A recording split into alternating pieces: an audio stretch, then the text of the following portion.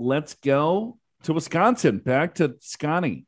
Uh, hi, Joe Big Al and Andi. Really enjoyed the show. Thanks for all the laughs and the wisdom, aka not financial advice. Yeah, we're just a couple of kids shooting the breeze.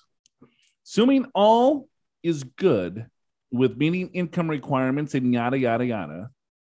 Instead of putting some of the seven thousand dollars I'm eligible to put into my Roth IRA for 2022, should I consider using those funds towards my tax liability for executing a full or partial conversion from a traditional IRA into an existing Roth IRA?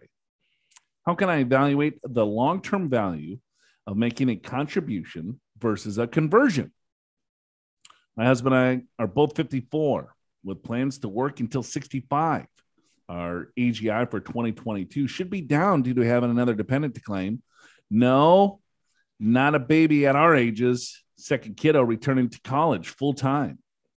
Uh, the sum total of our deductions will be worth itemizing in 2022. Plus, the account balances are down.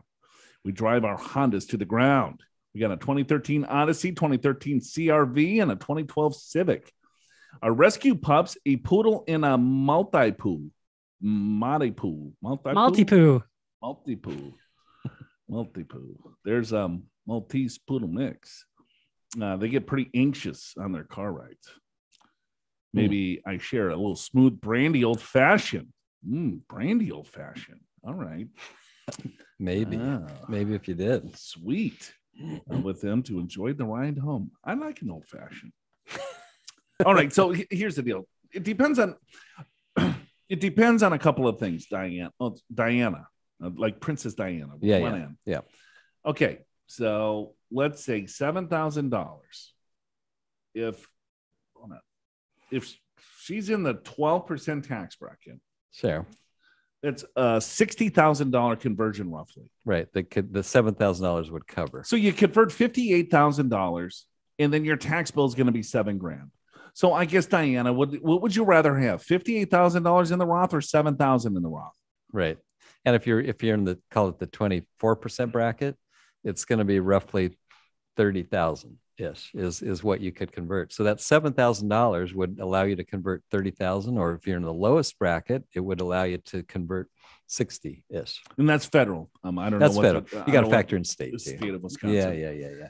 But that's but I would say this. Um, that works for a lot of people that we talk to because they have high balances in IRAs and 401ks because they're trying to reduce their required minimum distribution or give tax so diversification right. or have a better income exactly. um, withdrawal strategy. There's multiple reasons. Now, if you if you really don't have that much in an IRA or 401k, and so the re- required minimum distribution isn't going to amount to much, then it doesn't doesn't matter as much.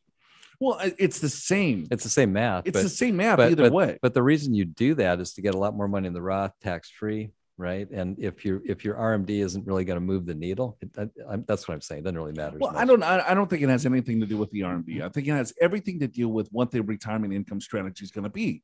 Because maybe she doesn't have a lot of money in a retirement account, but she has Social Security, right? And then so the RMD or the distribution from that could make her Social Security be subject to tax okay. up to 50 or 85 percent.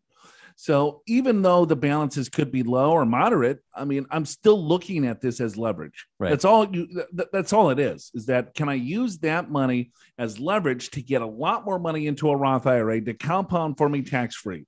She's got 10 more years to work, right?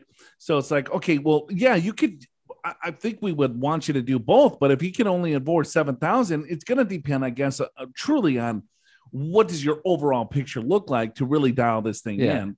But you know, just from a spitball high level, it's like, all right, well, seven thousand dollars. If you give that to the IRS, if you're in the twelve percent tax bracket, it's roughly fifty some odd thousand dollars. If you're in the twenty four percent tax bracket, it's roughly thirty thousand. So, would you rather have a lot higher number going into the Roth convert it, then you have the cash to pay the tax and forget about it. Yeah, no, I agree with everything you said. Here's what I'm thinking though. Sometimes we see real estate investors that have very little in their deferred accounts, so it, it doesn't matter so much. It, yeah, it that, would make that, that's more what zero. I'm thinking. Yeah. yeah. Are you prepared for retirement? Schedule a free financial assessment with an experienced financial professional right online at purefinancial.com.